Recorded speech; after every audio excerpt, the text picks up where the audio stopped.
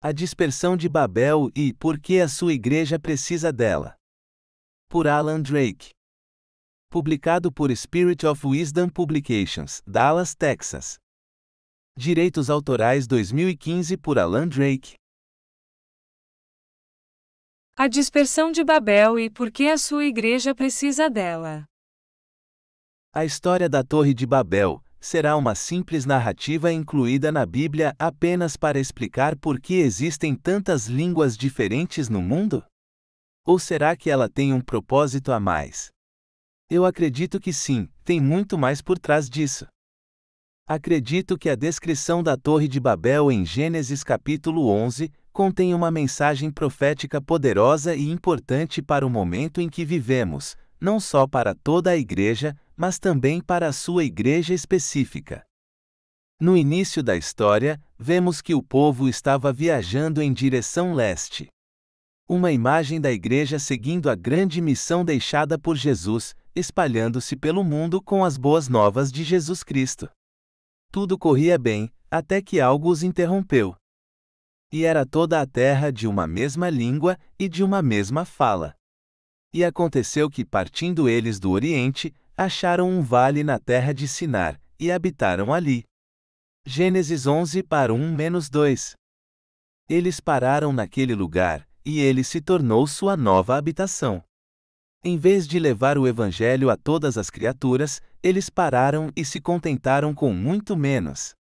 Estavam apenas recebendo a presença de Deus em vez de levá-la a outras pessoas que não estavam junto com eles. Talvez você note que isso também esteja acontecendo na sua igreja quando ela começa a parar e se contentar com uma vida que gira em torno apenas de atividades. A ênfase e iniciativa de tocar mais pessoas vai diminuindo quando se perde o interesse. É possível que ainda existam viagens missionárias, mas são menos frequentes, e mesmo assim, talvez sejam consideradas experiências de diversão para quem participa, em vez de um propósito de amor para atingir pessoas que precisam desesperadamente de Jesus. A parada é ensinar. O povo não só parou a sua jornada, mas parou na terra de Sinar. Sinar possui diversos simbolismos negativos associados a ela. Sinar é a terra da Babilônia. A Bíblia diz que o reino de Nimrod começou em Babel, na terra de Sinar, na Babilônia, Gênesis 10 e 10 da manhã. Talvez isso não pareça tão importante, a menos que observemos a atitude de Nimrod diante de Deus. Ele foi chamado de Nimrod poderoso caçador diante do Senhor. A palavra traduzida como diante, na realidade quer dizer contra, e sugere que Nimrod estava em contrariedade e rebelião com o Senhor. Quando uma igreja para de percorrer o mundo, e passa a se contentar com apenas receber a presença de Deus e se edificar nela, Deus parece considerar isso como rebelião e idolatria, que também é um adultério espiritual. A igreja perdeu o seu primeiro amor e agora está buscando outros interesses. Quando esse tipo de rebelião atinge maturidade completa, ele acaba resultando na abominação que vemos em Apocalipse 17. E veio um dos sete anjos que tinham as sete taças e falou comigo, dizendo-me: Vem mostrar-te-ei a condenação, a sentença, julgamento da grande prostituta idólatra que está assentada sobre muitas águas. Com a qual se prostituíram com idolatria os reis da terra, e os que habitam na terra se embebedaram com o vinho da sua prostituição, idolatria. E o anjo levou-me em espírito a um deserto, e vi uma mulher assentada sobre uma besta de cor escarlate, que estava cheia de nomes de blasfêmia e tinha sete cabeças e dez chifres. E a mulher estava vestida de púrpura e de escarlata, adornada com ouro, e pedras preciosas, e pérolas, e tinha na mão um cálice de ouro, cheio das abominações e da imundícia da sua prostituição. E na sua testa estava escrito o nome: Mistério, com um significado secreto e simbólico. A Grande Babilônia, a mãe das prostituições, idolatria e abominações da terra. E vi que a mulher estava embriagada do sangue dos santos, o povo de Deus, e do sangue das testemunhas, que falaram de Jesus. E vendo-a eu, maravilhei-me com grande admiração. Apocalipse 17, 1-6 Uma vez tive um sonho em que vi o pastor de uma igreja que, depois de dois meses, foi denominada um lugar de habitação da presença de Deus. Nesse sonho, vi o pastor contratando prostitutas para trabalharem na igreja. Já havia um outro grupo de prostitutas trabalhando para ele na igreja. E o pastor estava trazendo mais um grupo de prostitutas. Foi um dos sonhos mais chocantes que já tive. Esse pastor é uma pessoa muito bondosa, um homem dedicado e totalmente devoto a Deus. Como seria isso possível? Eu não entendi totalmente a simbologia da prostituição espiritual na igreja, até que percebi que aquilo significava que o pastor havia se desviado. Ele não estava mais buscando a vontade de Deus para a igreja. Ele deixou de buscar o seu primeiro amor, Apocalipse 2 e 4. Seu foco passou a ser interno, no desenvolvimento de atividades da igreja e construção de instalações. Os membros da igreja estavam sendo chamados para cumprir essas missões eles estavam sendo desviados da busca pela vontade de Deus para suas vidas e sendo colocados para servir o desejo do pastor para a igreja. E ao fazerem isso, estavam se tornando prostitutas espirituais. Não é errado ocupar posições de responsabilidade na sua igreja. Contudo, quando um líder desvia os fiéis do chamado de Deus para suas vidas, fazendo com que sirvam seus interesses em vez de servir a Deus, para seu próprio benefício, servindo seus sonhos e desejos para sua igreja de acordo com seus planos, em vez dos planos de Deus, esse líder transforma os membros da igreja em prostitutas espirituais. Nessas igrejas, raramente os líderes perguntam aos seus voluntários: o que você mais gosta de fazer? Qual é a sua paixão? Ou, o que você sente que é o seu chamado? Em vez disso, o líder foca nas necessidades da igreja fazendo perguntas do tipo: Você pode ajudar na creche? Você pode se encarregar do projetor? Você pode passar algumas horas da sua semana aqui ajudando? Mais uma vez digo que não há nada de errado em oferecer ajuda na igreja, mas perceba que a ênfase em construir um lugar de habitação nunca está relacionado a edificar as pessoas. A ênfase está em usar pessoas para edificar a igreja. Assim, são atribuídas funções a fiéis que não estão preparados para exercê-las apenas por serem serviços necessários para a construção da instituição e suas atividades. Isso acaba deixando os servos desanimados, frustrados e insatisfeitos. Mike Brain descreve essa situação muito bem em seu blog em inglês na publicação de 4 de abril de 2012, The Plug and Play Problem of Church Leadership O problema da automatização na liderança da igreja. Escolhendo os materiais. E disseram uns aos outros: Eia, façamos tijolos e queimemo-los bem. E foi-lhes o tijolo por pedra e o betume por cal. Gênesis 11 para 3 esta passagem especifica as substituições feitas na escolha dos materiais de construção. Tijolos foram usados no lugar de pedras. Qual o problema?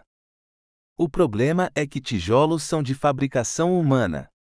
A pedra é parte da criação de Deus, Deus deixou bem claro em Êxodo 8 e 25 da noite que, se me fizerem um altar de pedras, não o façam de pedras lavradas, se sobre ele levantares a sua ferramenta, profaná-lo-á.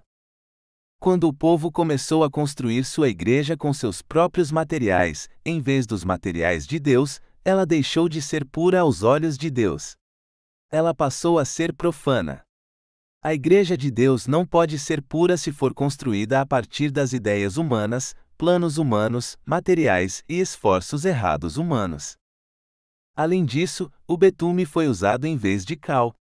O que há de errado em usar betume para criar uma casa dedicada a atingir o céu? Vejamos de onde vem o betume. O léxico hebreu caldeu do autor alemão Wilhelm Gesenius descreve a origem da palavra betume como algo, fervido de fontes subterrâneas, como petróleo e piche das proximidades da Babilônia e do fundo do Mar Morto. Resumindo, o betume vem das entranhas da terra. 1. Qual outra passagem na Bíblia está associada às entranhas da terra? Usar betume para dar liga na construção dessa igreja é outro ponto negativo. Essa não é a sabedoria que vem do alto, mas é terrena, superficial, animal e diabólica. Tiago 3 e 15 da manhã. Construindo a torre. Disseram: Eia, edifiquemos nós uma cidade e uma torre cujo cume toque nos céus, e façamo-nos um nome, para que não sejamos espalhados sobre a face de toda a terra. Gênesis 11 para 4 A busca por atingir os perdidos foi praticamente abandonada nessa igreja. O foco de seus esforços passou a ser quase totalmente interno, pois estão concentrando suas atividades para tornarem-se uma habitação da presença de Deus que tem a reputação de tocar o céu. Eles querem criar um nome para eles. Serem portadores do nome de Jesus não é mais suficiente. Em vez de tornarem-se servos, sem reconhecimento como Jesus fez, Filipenses 2 a 7, o reconhecimento passou a ser importante. Houve uma mudança sutil, mas que pode ser percebida. Eles tomaram posse da Igreja de Jesus, tornando-a sua propriedade. Não é mais a Igreja de Jesus, mas a sua Igreja, o que explica por que Deus igualou Babel, ou Babilônia, à prostituição e ao adultério espiritual. Os sintomas dessa situação estão na ênfase exclusiva em instalações e atividades da Igreja. Novos funcionários são contratados. Trabalhos de recrutamento de voluntários são constantes. Existem planos de reforma no prédio e instalações. Campanhas são desenvolvidas para a aquisição de novos locais ainda maiores para comportar seus programas que não param de crescer. Contudo, ao mesmo tempo, há menos ênfase em missões para atingir os perdidos. Treinamento e preparação para esse tipo de programa são reduzidos ou deixam de existir pela falta de interesse. Trabalhos de missão passam a se resumir em doações para missionários locais. O cargo de líder de missões talvez desapareça, visto que o foco agora é interno, na construção da igreja e de suas atividades. Em vez dos crentes serem preparados para o trabalho de Deus com os cinco ministérios de apóstolos, profetas, evangelistas, pastores e mestres, como descrito em Efésios 4, a liderança da igreja é designada principalmente aos pregadores e líderes de adoração. É claro que não há nada errado com pregadores ou líderes de adoração. Pelo contrário, ambas funções são vitais para a vida da igreja. Contudo, não foram esses chamados que Deus estabeleceu e preparou para o aperfeiçoamento dos santos, para a obra do ministério, para a edificação do corpo de Cristo, até que todos cheguemos à unidade da fé e ao conhecimento do Filho de Deus, a varão perfeito, à medida da estatura completa de Cristo. Efésios 4 e 12 da manhã menos 13. Em uma igreja que se contenta em apenas ser uma habitação da presença de Deus, não há lugar para os cinco ministérios. Pode ser muito difícil para eles encontrarem uma voz ou utilidade nessa igreja.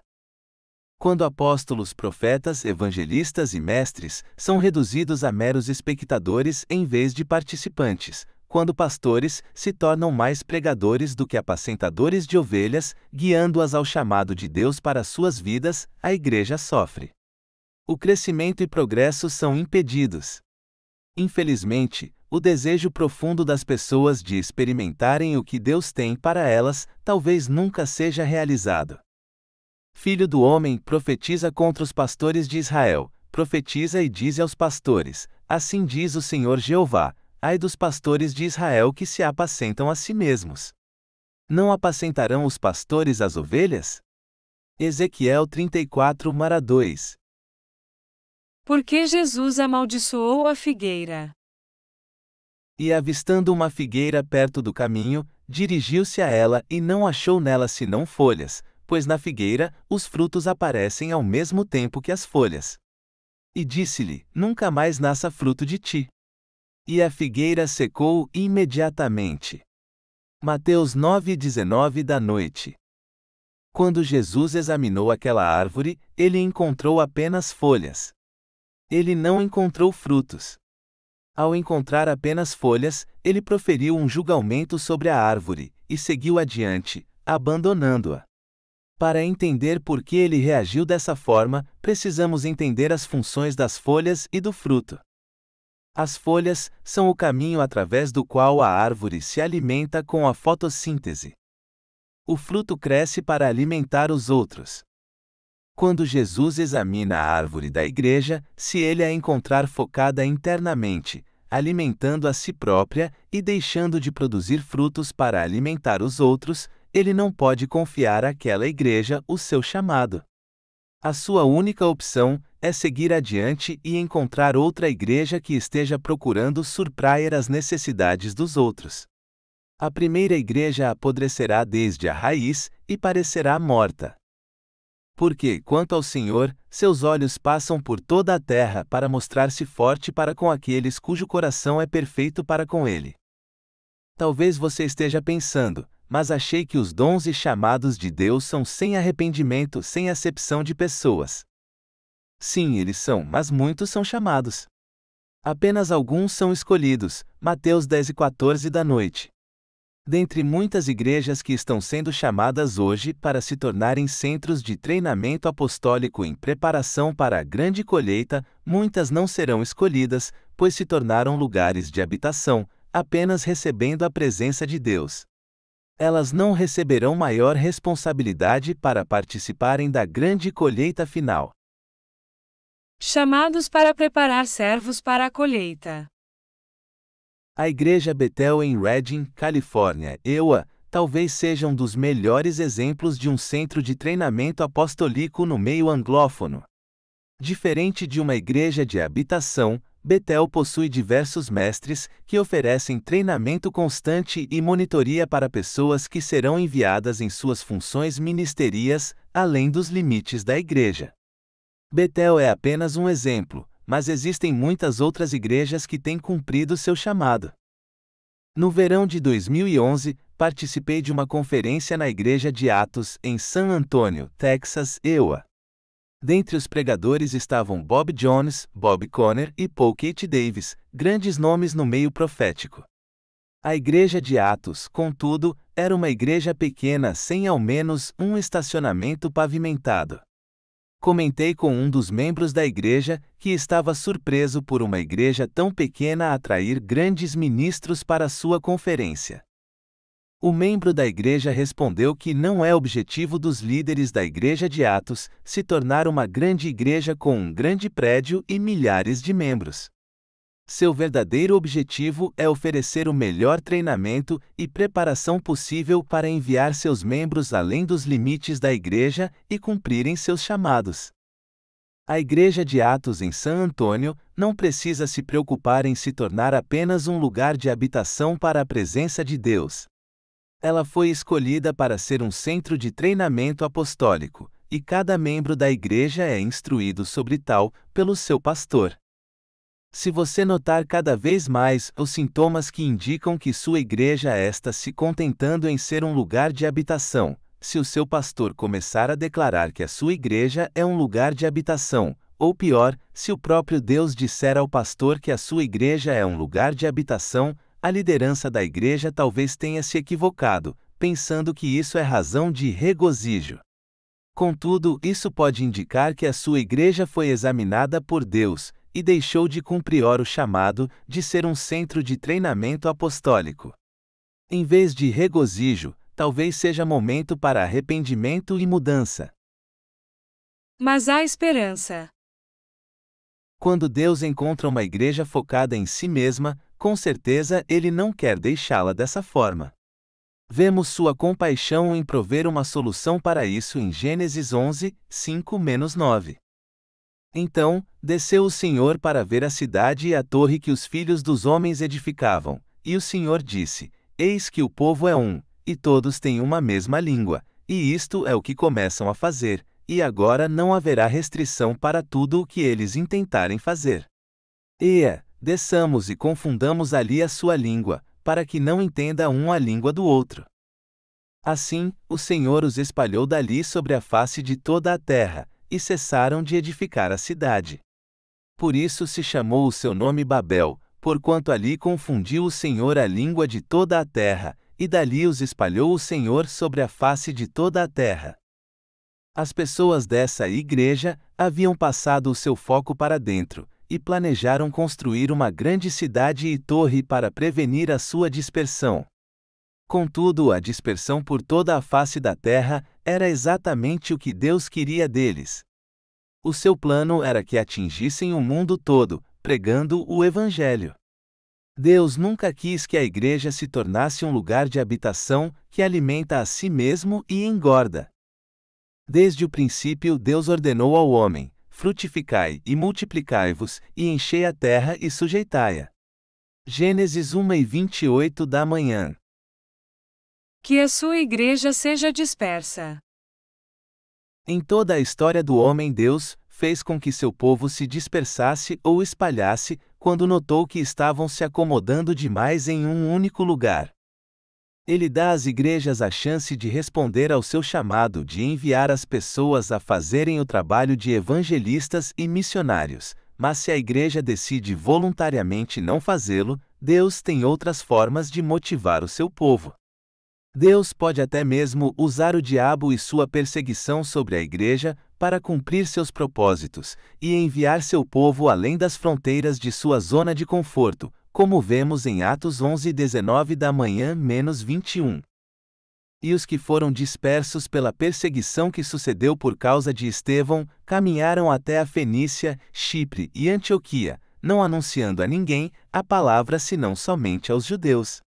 E havia entre eles alguns varões de Chipre e de Cirene, os quais, entrando em Antioquia, falaram aos gregos, anunciando o Senhor Jesus. E a mão do Senhor era com eles, e grande número creu e se converteu ao Senhor. Na história de Babel, Deus usou a confusão das línguas para fazer com que as pessoas se dispersassem. A confusão das línguas não era o objetivo de Deus, mas sim apenas a forma que encontrou naquele caso para dispersar e espalhar o povo pelo mundo. Ele poderia ter usado outros caminhos para cumprir esse objetivo. Se Deus precisar, Ele pode até enviar grande perseguição para que saiamos de nosso contentamento e zona de conforto, enviando-nos ao lugar onde as pessoas mais precisam de nós. Foi o que ele fez em Atos 8. E o fará novamente se for necessário. E também Saulo consentiu na morte dele. E fez-se, naquele dia, uma grande perseguição contra a igreja que estava em Jerusalém, e todos foram dispersos pelas terras da Judéia e da Samaria, exceto os apóstolos. Uns varões piedosos foram enterrar Estevão e fizeram sobre ele grande pranto. E Saulo assolava a igreja entrando pelas casas, e arrastando homens e mulheres, os encerrava na prisão. Mas os que andavam dispersos iam por toda parte anunciando a palavra. Atos 8 para 1-4 por que Deus dispersa seu povo? Deus dispersa seu povo para movitá-los a levar o Evangelho aos confins da terra, assim como ele nos instruiu. Marcos 4 e 15 da tarde.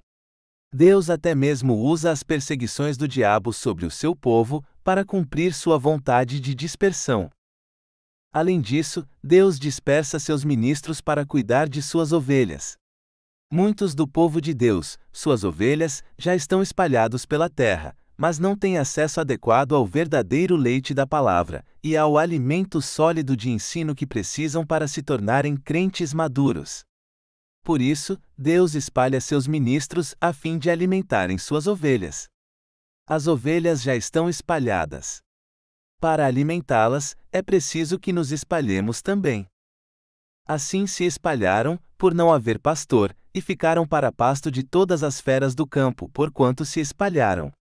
As minhas ovelhas andam desgarradas por todos os montes e por todo o alto outeiro. Sim, as minhas ovelhas andam espalhadas por toda a face da terra, sem haver quem as procure nem quem as busque.